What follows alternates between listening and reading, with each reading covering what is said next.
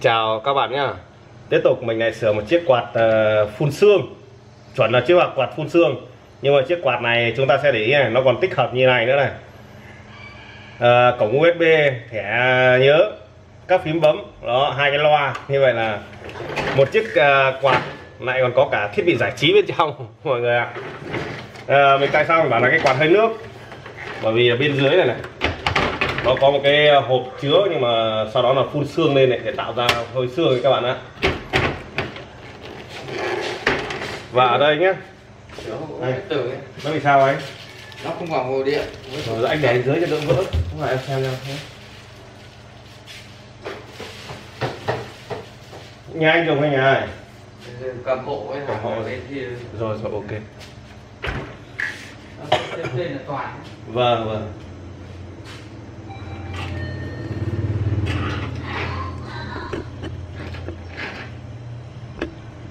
mình đang cho mọi người xem cái uh, nút bấm của nó.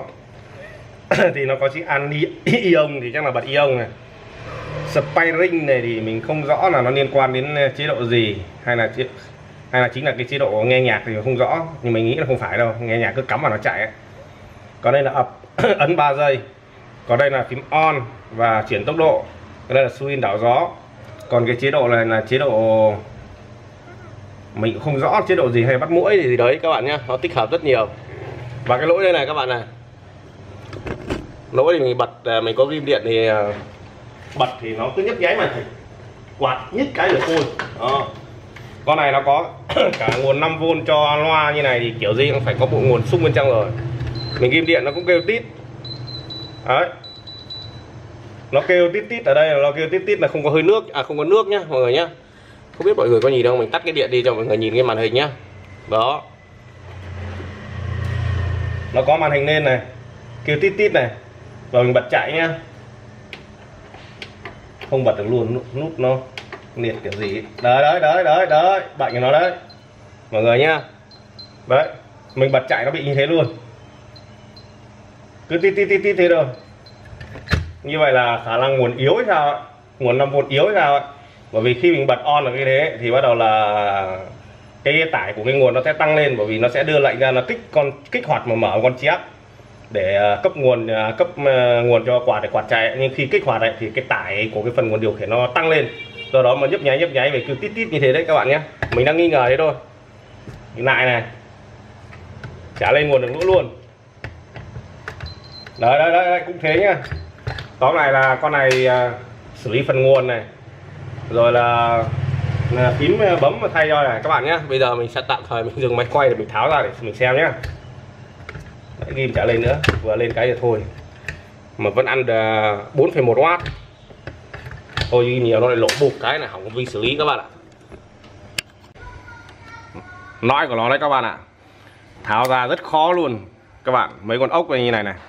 Là do cái ờ, không biết là mọi người ở, ở thành phố có bị như thế không nhưng ở quê này, này là những cái ờ, đồ điện tử này này là những cái lỗ lỗ để bắt cái mặt trên đáp là là có ốc ấy là cái con ong. Cái con ong nó toàn làm tổ thôi. Nó đi lấy đất bùn về nó làm tổ. Và cái lỗ đấy sau đó nó đi bắt sâu bắt bọ nó đút vào trong đấy để làm thức ăn cho con nó rồi nó đẻ trứng cho con nó trong đấy. Thế là một thời gian sau bắt đầu con ong ờ, nó lớn lên nó ăn cái cái xác còn toàn sâu bọ đấy nhá. Nó ăn xác sau đó là nó nó, nó phá ra nó đi ra ấy. nhưng sau đó là trong này nó toàn đất cát này. Nó dỉ hết đầu ốc. Tháo ra cực khó các bạn ạ. À.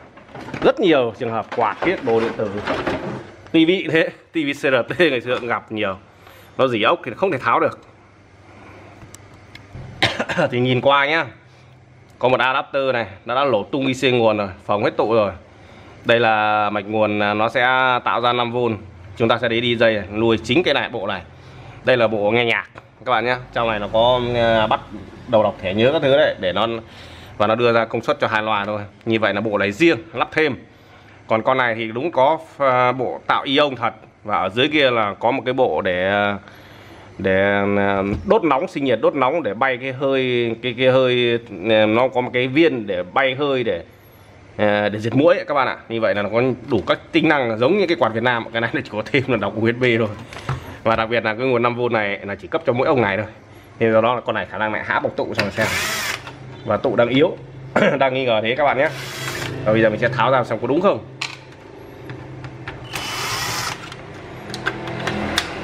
Quả tích hợp nhiều quá. Tên của nó thì mình chả đọc được. Tên quà này thì mình có ghi ở uh, ở tựa đề video nhá mọi người nhá. Tí nữa mình xem mình ghi tựa đề video còn bây giờ mình chưa biết tên nó là gì đâu. Sửa chưa biết tên thương hiệu quả là gì ai chà, như vậy là lại một bộ nguồn sung nữa, mọi người ạ. Mọi người thấy không? Lại một bộ nguồn sung nữa này. Bộ nguồn sung này nó sẽ tạo ra một cái mức nguồn để mình xem dơ le. Dơ le nó tạo ra một mức nguồn là 12V nhé mọi người nhá. Như vậy là đây, một bộ nguồn sung nó tạo ra nguồn 12V tại sao mình biết nó tạo ra 12V thì nó mới đưa nguồn ra kích được con à đóng con dơ le được con dưa le này đóng sẽ tạo cấp nguồn cho một cái bộ nguồn sung phía dưới của phần phun xương nhé mọi người nhé, nó sẽ thiết kế thế. Và tất nhiên là con MSU này này con IC này này. Ô, con phím bấm này này phím bấm theo kiểu ờ, phân áp rồi các bạn ạ. Cầu phân áp rồi. Hai mỗi hai giây tới mà không phải ma trận rồi. Như vậy là tiếp xúc không tốt thì bấm phím này là nhảy phím kia các bạn ạ. Này do thiết kế rồi con MSU này sẽ không thể chạy được à, nguồn à, 12V được. Các bạn nhé nó sẽ chạy 5V thôi do đó nó sẽ có một con ổn áp 7805 này này. Chúng ta sẽ nhìn này. Nó ghi luôn là LM7805 nhé à, họ không lắp cả tản nhiệt các bạn ạ bởi vì họ biết là cái tải của nó ít mà. Nó sẽ tạo ra 5V để nuôi nó. Thì con này thông qua nó sẽ nó sẽ giao tiếp với con người thông qua mắt nhận điều khiển thông qua phím bấm để nó sẽ đưa lệnh ra nó điều khiển toàn bộ hoạt động là tạo lệnh kích các con chiếc này. Hay cả dưa le chúng ta sẽ thấy rất nhiều chiếc nhé. Chúng ta sẽ nhìn này. Ờ lại còn có cả led led này chiếu sáng à? Đây là led này. Uh, NMH 123 là là liên quan đến uh, tốc độ. Các bạn nhé ba số tốc độ. Con này là con gì? BT 131 mà. Tất cả BT 131 hết. Thế cái con này à con này là led là bỏ trống. Như vậy là con này là không dùng có thể tháo cất bỏ con BT 131 này đi để dùng cái mục đích khác được các bạn nhé đó là nhà sản xuất họ sử dụng thừa nhé đấy chúng ta nhìn chúng ta hiểu được đâu là thừa đâu là thiếu nhá. Và còn vào số tốc độ này. Tiếp theo thì uh, ở đây còn có một hai ba con nữa. Thì một con là cho ion một con là cho diệt mũi. nó sẽ cấp 220 cho một con ờ, điện trở sinh nhiệt nhá để đốt nóng bốc khói bốc hơi cái cái ờ, Ờ, cái, phần tử mình gọi là phần tử đi cái phần tử để sinh ờ, ra khói ra, ra hơi để để diệt mũi đấy các bạn ạ. Và một con chiếc nữa là à, SVK là túp năng mọi người nhé. Còn đây là con 800 chắc là lệnh kích ờ, để đóng dơ le này cấp nguồn cho à cấp um, nguồn cho phần phun xương. Và kiểu gì nó cũng sẽ có cái cảm biến. Cảm biến mực nước của phun xương đi về này nó kêu tít tít đấy các bạn ạ à, chắc là một trong hai cái này này. Chắc là cái này đấy các bạn ạ chắc là dây này khả năng chính xác là dây này luôn. Dây này là cảm biến mà khi cắm điện nó kêu tít tít đấy là nó báo hết nước đấy các bạn nhé. Còn cái rác này thì mình nhìn thì có vẻ là 220 đúng rồi đi xuống cái bo này để cấp cho cái riêng cái bo đấy. Nguồn đầu tiên sẽ vào cái cụm này mà. Còn bây giờ mình sẽ tiến hành sửa. Thì uh, nguồn ra như thế thì nó đang bị như thế thì mình còn đang nghi ngờ là nguồn đang yếu. Để kiểm tra vài con tụ trong quạt này tụ tụ lọc hay lồi lắm đây con tụ này. Con này thì khả năng chắc chả sửa cái phần nhạc này đâu. Khách chả dùng cái phần nhạc này nữa đâu mà các bạn. Do nó ghim lâu làm quá nó lổ hết tụ nó hỏng này mình sửa quạt cho chạy cho người ta thôi các bạn phần phun xương ở dưới thì nó vẫn ok đi. Khi uh, chạy nó vẫn chạy được ok các bạn nhé. Đấy chúng ta sẽ thấy tụ này. Tụ lâu năm nó toàn thế này thôi. Nó không phồng ở đây. À nó cũng hơi căng nhưng nó bị ở dưới.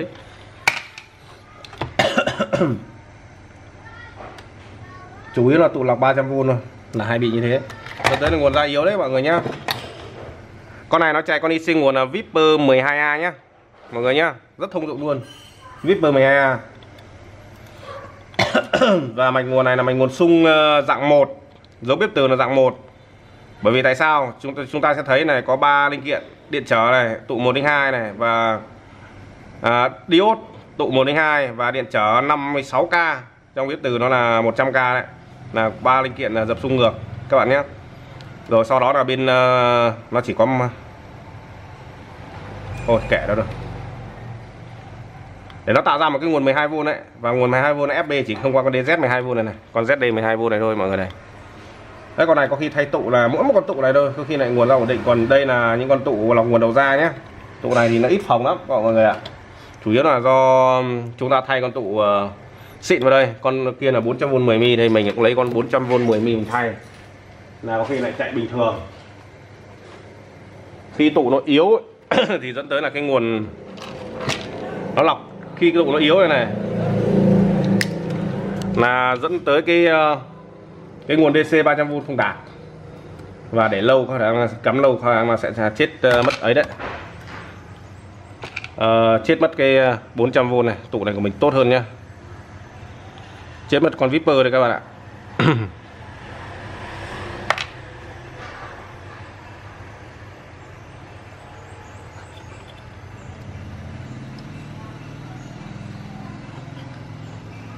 Cắm vào là kêu tích tích tích tích thế các bạn.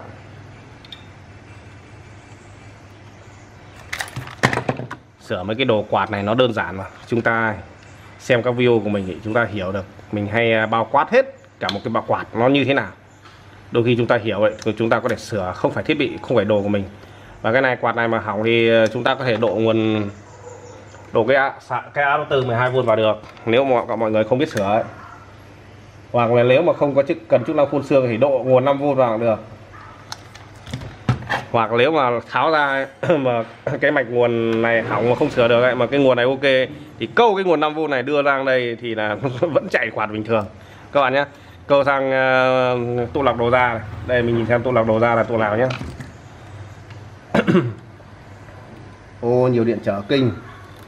À con điện trở này là nó hạn 51 ôm nó hạn đến áp cho chân in còn 7805 này này.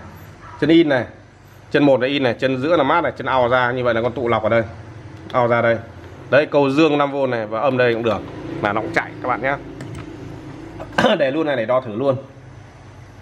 Thay tụ rồi, thay đúng tụ rồi. Tí nữa phải thay cả ấy nữa luôn à.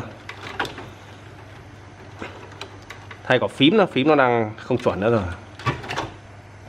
Đấy, chờ mình để mình cắm được nó nhá. Hơi lằng nhằng một chút. Lồi mãi được cái ổ cắm ra nhá thì à, mình à, thay con tụ với à, âm ở đây và dương đây là 300V nhá. Thì với cái mạch nguồn sung dạng một này có quận làm việc riêng ấy và cái quận cảm ứng tạo ra cái nguồn 12 riêng ấy thì có thể nó sẽ chỉnh lưu cả chu kỳ cũng được đấy các bạn ạ. Còn mấy cái, cái mạch nguồn hạ áp trực tiếp ấy, thì có khả năng nó chỉ chỉnh lưu nửa chu kỳ thôi. Thì nó mới lấy ra được cái nguồn dương của nguồn đầu ra hoặc nguồn âm đầu ra làm trên một dây AC nhá để nó có thể kích được chi ác đấy các bạn ạ.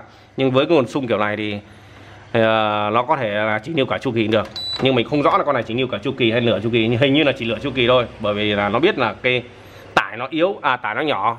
Thì chính yêu nửa chu kỳ thì nó sẽ tiết kiệm được ờ, ba uh, con diode nó chỉ cần một con diode mà các bạn nhé. Thì mình lấy mát ở đây âm, âm toàn mạch đây này. Một âm toàn mạch chính là một dây AC luôn các bạn ạ. Nên nó chỉ yêu nửa chu kỳ thôi. Đấy 300V nhá. Trên con tụ mình vừa thay đấy. Và nguồn ra này nguồn ra thì nó ở đây này đấy 12V 13V đấy bởi vì nó tràn qua DZ mà 13V nó tới đây nhá. Nó hạn qua con 51 hạn qua 51 tới chân một của con uh, uh, IC ổ nam 5V này thì nó sẽ tạo ra 5V ở đây này. Như vậy là 5V đẹp rồi nhá mọi người nhá. Và bây giờ mình sẽ bấm thử. Làm sao cho mọi người nhìn được cái màn hình. Chờ mình rút lượng điện ra mình lật cái màn hình lên cho mọi người nhìn được cái màn hình khi mình bấm.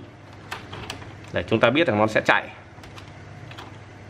Như thế nhá quay này sẽ không chạm gì đâu bây giờ đi ghim trực tiếp thôi vừa nãy mình ghim có bóng đèn này mà. Ấy nét đẹp thế. À, on ở đây này. Đó như vậy là vừa nãy à, nguồn nó bị yếu nên có không bật được không không không không tác dụng gì nhưng phím vẫn ok nhá. Nó hiển thị 32 độ như vậy là nó có cả cả biến nhiệt các bạn ạ. Cả biến nhiệt ở đâu thì mình không rõ. Chạy này. Tắt này. Ối phím nó không tác dụng là phím nó không chuẩn đấy mọi người nhé bởi vì mình vừa nói cho mọi người rồi hai giây như này thì nó phân áp qua điện trở tóm lại như thế nào? À, mình có thể giải thích cho mọi người về cái phím thiết kế phím như này nhé để cho mọi người hiểu về thiết kế mạch điện của nó. Chúng ta sẽ thấy là phím nó có hai dây thôi thì nó sẽ như thế này này. À, đây là con IC uh, ờ, ICV xử lý nhá. Ma trận bàn phím thì rất nhiều chân nhận phím như đây chỉ có đúng một chân thôi một chân thôi nhá. Nó sẽ đi ra này. Thì đầu tiên nên nó sẽ đi qua một con điện trở sau tới một phím đầu tiên. Tất cả đây, tất cả là GND nhé mát nhé tiếp theo đi qua con điện trở khác. Phím thứ hai, con điện trở khác.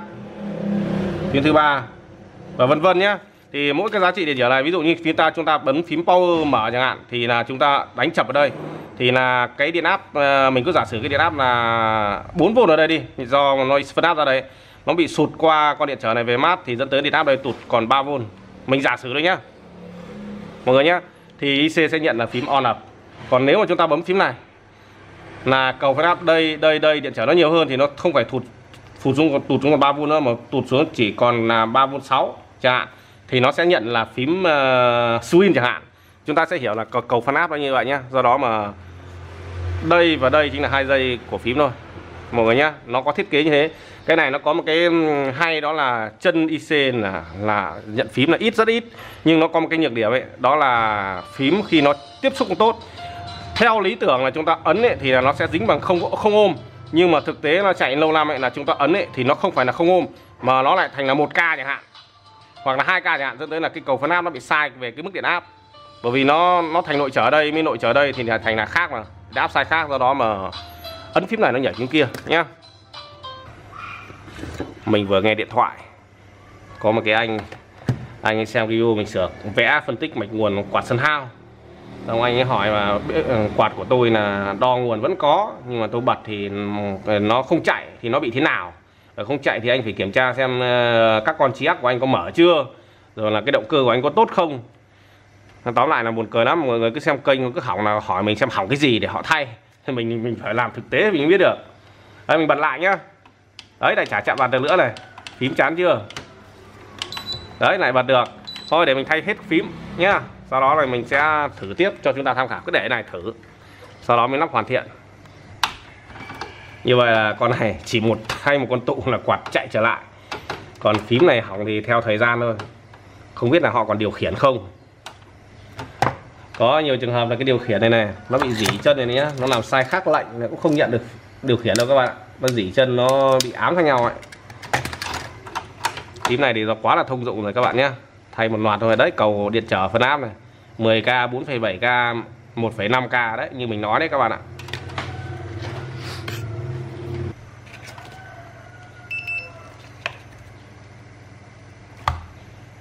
Bắt mũi này ấn mạnh mới được. Swin này. Đấy, ấn mạnh mới được phát. On up này. Đấy, ấn thật mạnh. Thành có lội trở đấy các bạn ạ.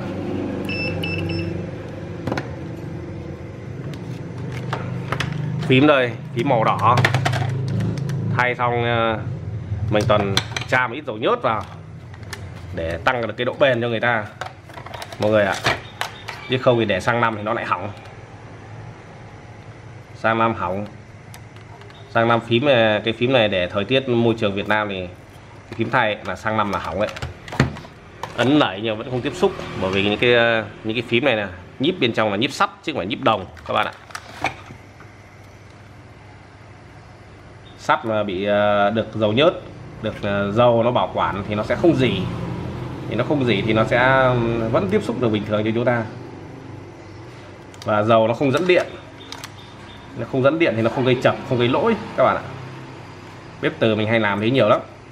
Và mình thấy được độ bền nó tăng lên hơn hẳn.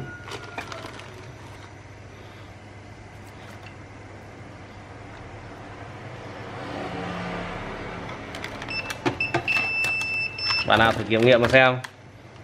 Bếp từ ấy. Giả sử chúng ta thay xong bắt đầu à, chả đơn giản như hai phím on up à phím tăng công suất và giảm công suất chẳng hạn. Phím tăng công suất thì à, chúng ta tra dầu. Còn phím giảm công suất thì chúng ta cứ thay mới rồi tâm tay để nguyên này. Và chúng ta sẽ xem à, thời gian à, chạy, xem xem khách xem nó có bị đúng như mình nói không.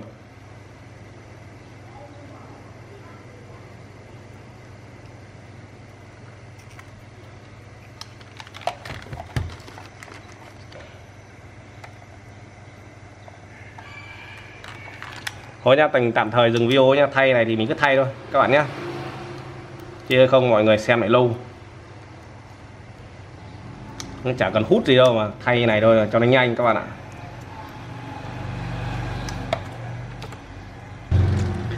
Đã thay một loạt phím này, chúng ta nhìn này. On này, phím 1 nhá. Số 1 này. Này, zoom gần lên nhá. Màn đẹp ghê. Hai này ba này. Nhưng có cái ấn tắt đấy ấn giữ 3 giây này. Đó giữ 3 giây nhưng quạt vẫn chạy.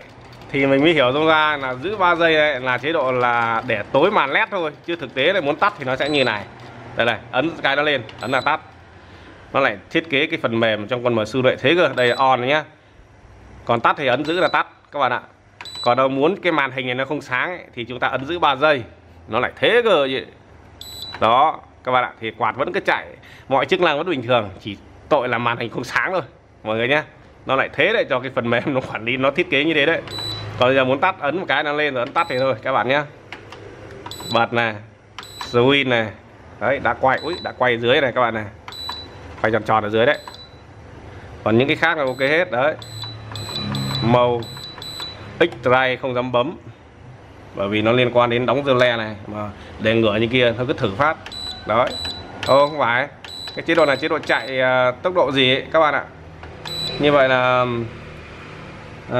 đóng uh, cho hơi nước chắc là trên điều khiển rồi. Không có đây. Không có đây các bạn ạ. Không có tóm lại là bốn bật hơi nước là dùng trên điều khiển mọi người nhé. Thôi con này lắp lại thôi. Còn cái phần nghe nhạc này thì bỏ qua mình không sửa. Khách muốn sửa thì sửa được ngay nhưng mà chắc là họ sẽ bỏ thôi. Chủ yếu là họ sẽ chạy quạt thôi mà mọi người nhé. Lắp hoàn thiện thôi.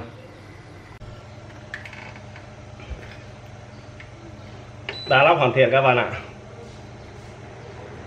Số 1 2 3 Swin. Đảo gió à, bắt mũi ion cái nút này nó cũng thay đổi tốc độ nha các bạn nhé à, lắp ngược như này à, cắm điện bắt đầu nó kêu tít tít của cái cảnh báo ờ, của không có nước các bạn ạ. Còn vừa nãy mình lật nghiêng như kia thì các cảm biến từ nó lật ra nó nhận diện là đang có nước nên nó không kêu tít tít các bạn ạ. Lúc đấy may mắn là tóm lại là cái trên cái phím này là không có cái phím nào là bật chế độ hơi nước cả. Nó làm trên điều khiển mọi người nhé on này ấn giữ 3 giây này. Tối màn hình này đấy swing này. À, ấn bất kỳ phím nào nó sẽ nổi lên các bạn ạ. Giữ 3 giây thôi, video kết thúc nhá. Mình lại sửa cái khác. Chào tất cả các bạn.